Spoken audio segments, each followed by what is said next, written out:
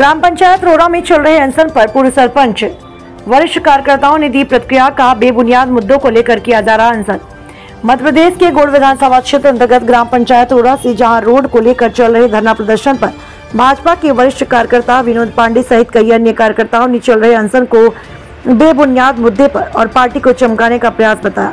बता दें, पूर्व सरपंच रमेश वर्मा ने कहा, जिस रोड के मुद्दे को लेकर अनशनकारियों ने धरना दिया उसका प्रपोजल माननीय गुण विधायक द्वारा पहले ही दिया जा चुका है। उन्होंने कहा, यह मुद्दा जनता और अपनी पार्टी का वर्चस्व जमाने के लिए इस बेबुनियाद मुद्दे को लेकर अनशन में तब्दील किया। उन्होंने कहा, वह रोड पहले से ही पास है और सरकारी कामकाज में थोड़ा समय लगता है। किंतु ऐसा नहीं है कि उसे लावारिश छोड़ दिया जाता है।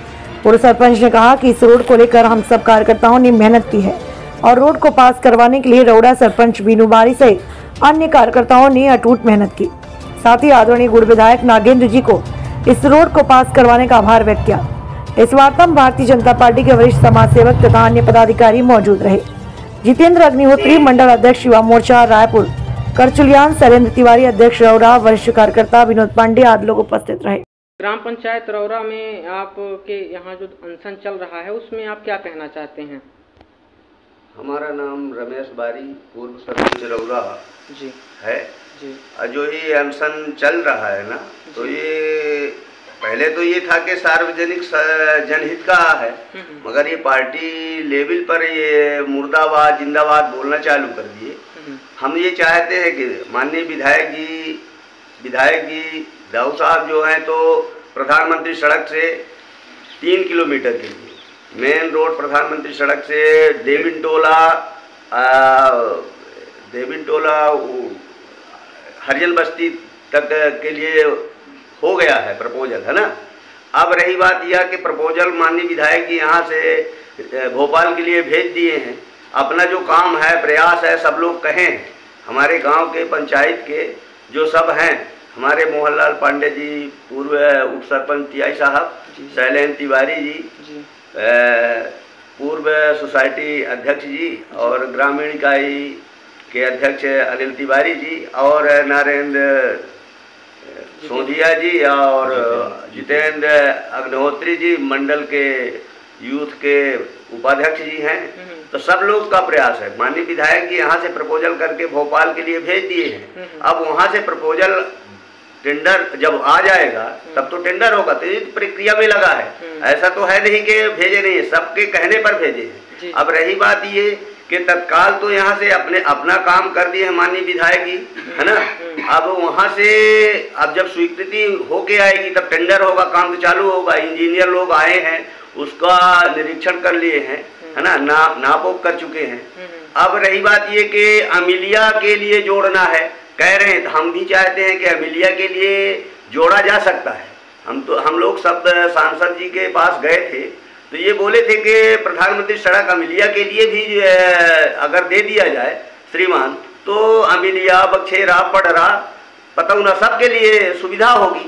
तो पहले तो अत्यजन जिनके जमींदार जमी ज़मीन के मालिक हैं तो अत्यजन करके कम से कम दे दें। तो माननीय जी के लगे पहुँचा दे सांसद जी के लगे पहुँचा दें और निवेदन करें कि ये वहाँ के लिए असुविधा है तो इसको जनहित के लिए हम्म, रोड सुलभ कराइए और वो करिए। हमारा यही कहना है। अब हम और रही बात ये कि गौशाला के लिए।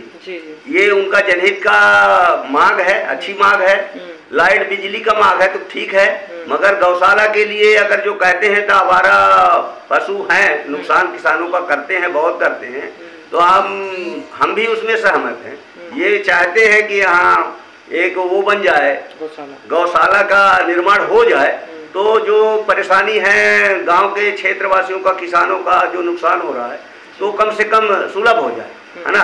ये यही माननीय जी से हमारा निवेदन है हम भी कहे और हम गए और बिन्नू बारी वर्तमान के सरपंच हैं और हमारी पत्नी हैं। तो साथ में गए थे हम्म। और निवेदन करे थे। हम्म, तो यही अपनी मांग है। मतलब ये जो अनशन रखा गया है रोरा में वो बेबुनियाद तरीके से जो इस मुद्दे को लिया जा रहा है तो बेबुनियाद तरीके हाँ हाँ पहले तो ये था कि सार्वजनिक है कोई ये पार्टी लेवल का ये आंसर नहीं है। हम्म। मगर ये यहाँ तो पार्टी लेवल में नहीं है यहाँ तो पार्टी के विधायक जी का विरोध कर रहे हैं। विधायक जी का वो कर रहे हैं संसद जी का विरोध कर रहे हैं। है ना? अब पार्टी का विरोध कर रहे हैं। पार्टी का तो ये तो ये तो कोई वो है नहीं इसीलिए हम लोग नहीं गए हैं। अब- माननी जी इसमें पूरा प्रयास कर रहे हैं। रही बात नहर का। बिजली के संबंध में योजना है। जी। डोमेस्टिक कनेक्शन अलग हो हम्म। और सिंचाई के लिए कनेक्शन अलग हो हम्म। उसके लिए योजना चल रही है हम्म, और आधा काम गाँव तक हो गया। बरसात के कारण काम बंद है जैसे बरसात समाप्त होगी वो पूरा काम जो है पूरा किया जाएगा मीटर सेपरेशन का। काम चल रहा है अंडर प्रपोजल है अच्छा जो ये अनशनधारियों की जो विद्युत विभाग को लेकर बिजली को लेकर जो समस्या जो मुद्दा बताया जा रहा है उसका काम चल रहा है प्रगति में है कार्य यही कहना चाहते हैं अब तो आंदोलन सार्वजनिक न होके एक दलीय स्थिति में पहुँच गया है। अच्छा। अब वो चूँकि कांग्रेस का ही प्रचार करते हैं बाकी जो सरकार कुछ देने वाली है वो तो मुर्दाबाद है।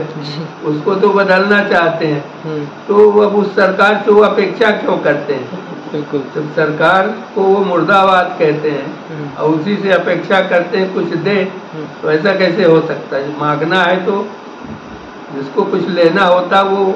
देने का ढंग दूसरा होता। है ये तो पार्टी का उनका प्रचार प्रसार है तो। ठीक है पॉलिटिशियन है बना करते रहे। हम्म, लेकिन जो सार्वजनिक काम है वो हमारी पंचायत कर रही है। जी। हम लोग कर रहे हैं। हम्म। और जो सार्वजनिक उनकी मांगे होंगी उनमें हम हम लोग सब साथ में रहेंगे। हम्म। पंचायत के अंदर के जितने काम हो सब होंगे। ठीक है बहरहाल अत्यजन तो कह कहते हैं कि अमिलिया का तक की तरफ़ का अत्यजन हो गया। तो अपने ज़मीन का अत्यजन कर दें तो अमिलिया में जुड़ जाए। सवाल तो इतने हैं हम्म, अगर वो अपना अत्यजन कर दें अपनी ज़मीन का हम्म, और उधर कहते हैं कि अमिलिया का हो गया हम्म, फिर क्या रोड बन जाएगी?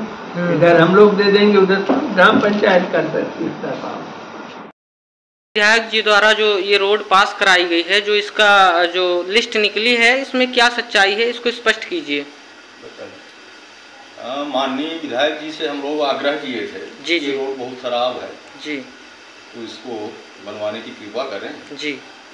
तो उसमें उन्होंने ध्यान दिया और उसका इस्टीमेट बनवाया प्रपोजल बनवा के भोपाल भेजे हैं मंजूरी के लिए। जी। तो सरकारी काम है प्रक्रिया के तहत होगा। किसी घर का काम तो है नहीं कि आज से काम लगा देते हैं तो लगा देते हैं बोल दिए। हम्म, अब वहाँ से वैसे अभी तक में जितनी रोडों का प्रपोजल विधायक यहाँ से भिजवाए हैं तो लगभग सब मंजूर होके आए हैं। हम्म, तो इसमें हम कैसे मान लें कि ये मंजूर नहीं होगी जो यहाँ लोगों द्वारा अफवाह फैलाई जा रही है? हम्म।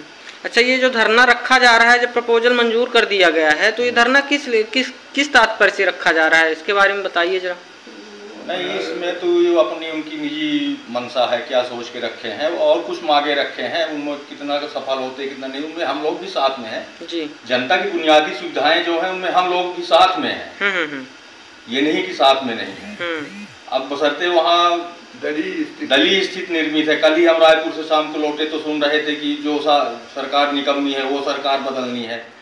तो अब चूँकि हम लोग वहाँ से अलग हैं तो कैसे जा सकते हैं? वहाँ इसलिए वहाँ नहीं जा रहे हैं। बिल्कुल। बाकी जो काम है सार्वजनिक काम है उनमें हम लोग भी साथ में हैं। हम्म, कल किसी एक प्रदर्शनकारी का हम उद्बोधन सुन रहे थे शाम को। कि वहाँ की अमिलिया का अत्यजन करा दिया गया है ज़मीन का। हम्म, एक साल से पड़ा है कोई ध्यान नहीं दे रहा है। हम्म, तो अत्यजन हुआ है तो उसका रिकॉर्ड भी चाहिए ना। हम कहते हैं कि दूसरे को ना बताएँ, ना दिखाएँ, लेकिन ग्राम पंचायत को, पंचायत सरपंच को तो देना चाहिए ना कि भाई ये अत्यजन हो गया, इसका आप काम करवाइए या प्रयास करिए। तो उसकी कहीं रता पता नहीं है कहाँ जन सांसद से जी से हम लोगों की भी एक महीने पहले बात हुई है। हम्म, हमारे सरपंच पति रमेश जी से थे साथ में राम भवन तिवारी बखेरा साथ में थी जीते नगिनोत्री जी सब लोग थे। जी। तो सांसद जी बोले कि आप लोग ज़मीन दिलवाइए हम रउरा में उसको प्रधानमंत्री में जुड़वाए देते हैं मिलिया में रउरा से मिलिया। हम्म, हम्म, भाई रिकॉर्ड दें कहाँ है अत्यजन है अगर तो उसके लिए उसके लिए हम लोग भी प्रयास करेंगे जितना हो सकेगा। अच्छा। आपके कहने का मत है ये जो रोड के मामले के तहत तो इस धरने को रखा गया है ये नहीं ये तो नथिंग है। बेबुनियाद तो तरीके से। प्रपोजल चला गया वो लौट के आ रहा है टेंडर में लगेगी वो। हम्म। जो अमीलिया के लिए वो चाह रहे हैं रास्ता जी।